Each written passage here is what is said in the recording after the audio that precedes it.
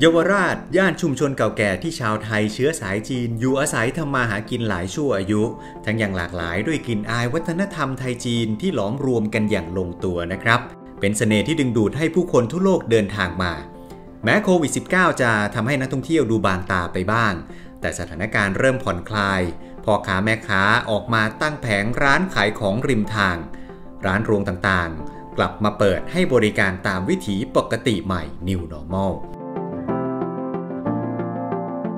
นอกจากขึ้นชื่อว่าเป็นถนนสายทองคำเยาวราชยังได้ขนานนามว่าเป็นย่านที่มีร้านอาหารเก่าแก่มากมาย รายการเจ้าเก่า EP แรกจึงเลือกเดินทางมาที่นี่ครับ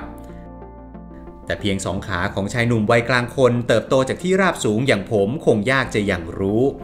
แต่ข้อดีแห่งยุคสมัยที่เพียงนิ้วสัมผัส พิมพ์ระบุข้อมูลลงไป เราก็ได้คำแนะนำตามโจทย์ที่ต้องการเด้งขึ้นมาทันที ผมเร่งฝีเท้าเข้ามาในซอยเยาวพาณิชย์ประมาณ 200 เมตร ก็ได้พบกับร้านยิ้มยิ้มพัตตคาร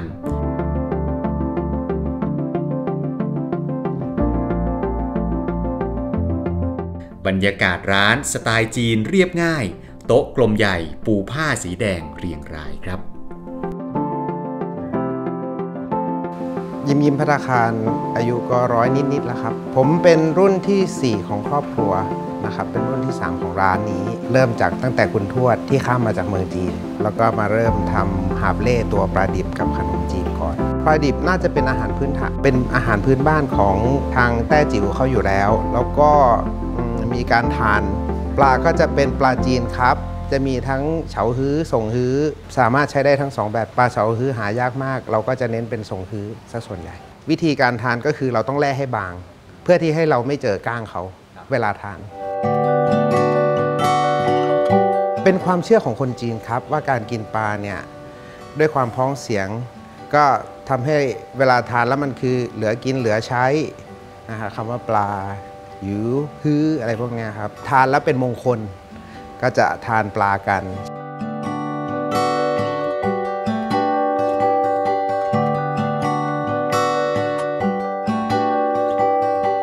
ขนมจีบก็คือเป็นขนมจีบแบบดั้งเดิม ขนมจีบแต้จิ๋วที่ เราใช้ตัวหมูสับ มีกุ้งแห้ง มีเห็ดหอม มีแห้ว แล้วก็มีหน่อไม้ ก็มาคลุกปนกัน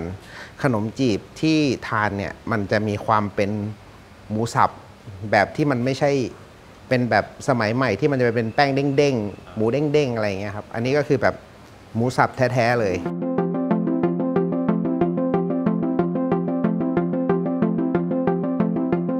คณะฮ่องกงผัดปลาตาเดียวแห้ง ปลาตาเดียวแห้งเราก็เรียกว่าชิโป้ เป็นอาหารแต้จิ๋วอีกแบบหนึ่งเหมือนกัน ก็คือพวกปลาแห้งพวกอะไรพวกนี้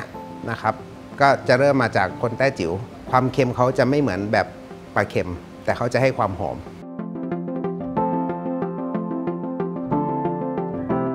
กระเพาะปลาน้ำแดงของเราเนี่ยมันจะไม่ใช่แบบเป็นกระเพาะปลาน้ำแดงเหมือนทั่วไป เราจะมีการใส่พวกแฮมลงไปด้วย มีใส่เนื้อปูด้วย จะไม่ใช่แบบกระเพาะปลาหน่อไม้อะไรพวกนั้น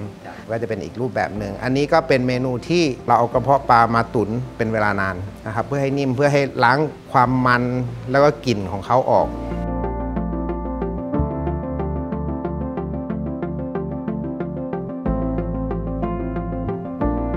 เมนูสุดท้ายอีหมี่ อีหมี่นี่ก็เป็นอาหารแบบโบราณเหมือนกันนะครับ จริงๆก็เป็นหมี่ผัดดัดกรอบธรรมดา แต่ว่าด้วยกรรมวิธีของเขาเนี่ยจะค่อนข้างยากนิดหนึ่งเมนูนี้จะมีน้อยร้านละที่ทำเพราะมันจะค่อนข้างเสียเวลา ส่วนใหญ่จะเป็นผัดเป็นอบ อันนี้คือแบบต้นตำรับ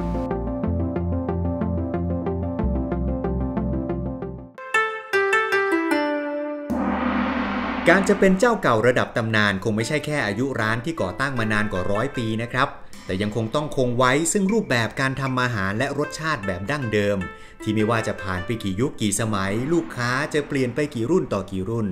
คุณภาพและความอร่อยก็ยังคงทำให้รู้สึกเชียเชียตามชื่อร้านในภาษาจีน หรือยิ้มยิ้มในภาษาไทยนั่นเองนะครับ เชิญมิตรรักนักชิมแนะนำร้านอาหารเจ้าเก่าในดวงใจที่อยากให้เราตามไปชิม เขียนระบุชื่อร้านและปักหมุดพิกัดในคอมเมนต์ด้านล่าง อย่าลืมกดไลค์ กดแชร์ กด Subscribe แล้วพบกันใหม่ สวัสดีครับ